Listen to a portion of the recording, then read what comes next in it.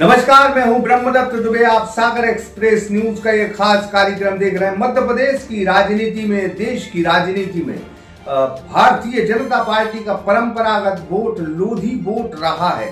लेकिन प्रहलाद पटेल के मध्य प्रदेश के मुख्यमंत्री न बनने की वजह से लोधी वोट जो सोशल मीडिया अपनी नाराज़गी निकाल रहा है उससे लग रहा है कि आने वाले 2024 के चुनाव में लोधी वोट बगावत कर सकता है। लोधी वोट की बगावत को साधने के लिए अब केंद्रीय मंत्री जो प्रहलाद पटेल थे, अब विधायक बने हैं उनको मध्य प्रदेश के मंत्रिमंडल में जगह मिलेगी।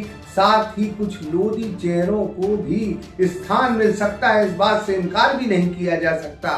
क्या इस बात से लोधी मान जाएँगे? लोधियों की क्या अपेक्षा थी? वो अपेक्षा क्या भारतीय जनता पार्टी अब पूरी कर सकती है। इन तमाम चीज़ों को लेकर हम एक बात बिल्कुल स्पष्ट कर दें कि लोधी निश्चित तौर पर भारतीय जनता पार्टी का परंपरागत वोट रहा है। अगर बीसों, पच्चीसों और तीसों साल की राजनीति का हिसाब किताब देखा जाए तो कभी कल्याण सिंह के मार्फत लोधी वोट भारतीय जनता पार्टी का सपोर्ट करता रहा है।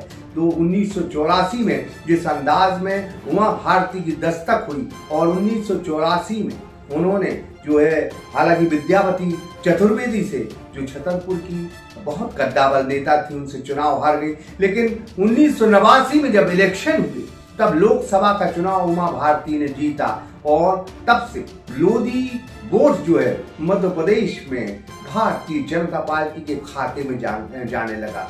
तमाम चुनाव हुए और एक दफ़ा 2003 में उमा भारती के चेहरे पर मध्य प्रदेश में चुनाव लड़ा गया चुनाव जीता भी गया।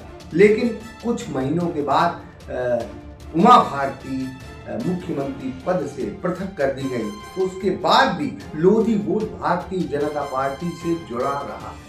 लेकिन अब प्रहलाद पटेल का सिक्का चलता है। प्रहलाद पटेल को लोधी वोट पसंद करता है। उसे लगता था कि प्रहलाद पटेल मुख्यमंत्री बनेंगे, लेकिन वो मुख्यमंत्री नहीं बन पाए। इस लिहाज से लोधी वोटों में नाराज़गी है। और लोधी वोटर अगर नाराज़ रहा तो 2024 की राह मध्य प्रदेश में भारतीय जनता पार्टी की मुश्किल हो सकती है। लेकिन एक अच्छी खबर ज़रूर है कि यादव वोट बहुत ताकत से, बहुत ताकत से इस वक्त जो है भारतीय जनता पार्टी के साथ खड़ा है। अगर मध्य प्रदेश में लोधी और यादव की तुलना की जाए तो यादव वोट सशक्त वोट है।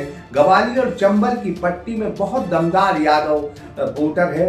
और मध्य प्रदेश के बुंदेलखंड में बहुत ताकतवर यादव वोटर है। तो इस लिहाज से बुंदेलखंड की अगर हम बात करें तो बुंदेलखंड की जो सीटें हैं, उसमें अगर हम बात करें और चंबल ग्वालियर की बात करें, अन्य जगह की बात करें तो यादव वोट डॉक्टर मोहन यादव के मुख्यमंत्री बनने के बाद भारतीय जनता पार्टी और मोदी से बेहद खुश है। लेकिन ओबीसी के दो बड़े वोट निश्चित तौर पर 2024 के इलेक्शन का फैसला कर सकते हैं। इस लिहाज से यादव वोट अगर भारतीय जनता पार्टी को मिलता है, तब लोधी वोट किस तरह से भारतीय जनता पार्टी साधेगी, ये ये तो वक्त रहते पता चलेगा। लेकिन एक बात ज़रूर तय कि कल्याण सिंह की जो हैसियत थी, उस हैसियत से भारतीय जनता पार्टी ने उनकी हैसियत की रक्षा नहीं की।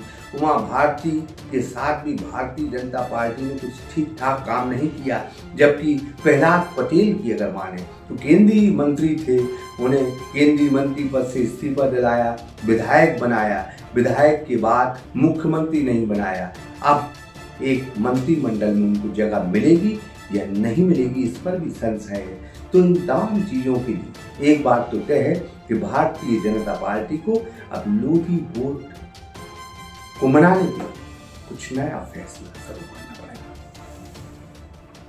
एस आर इंटरप्राइजेज समस्त कंपनियों के सीसीटीवी कैमरों के थोक एवं फुटकर विक्रेता, अपनी दुकान, मकान, होटल और संस्था में ब्रांडेड कंपनी के कैमरा सस्ते दामों पर लगवाएँ वो भी कमर्शियल साइट के अनुभव के साथ तो अभी संपर्क करें।